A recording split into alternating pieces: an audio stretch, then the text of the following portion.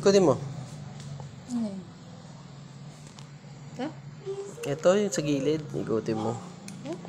Oo. Sugutin? Ikutin.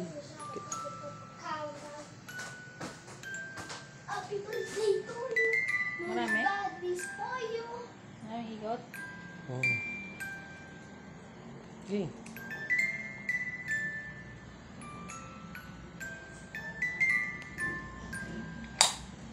Pakis. Sa'yo. Bigay ko sa'yo. Ha? Gift ko sa'yo.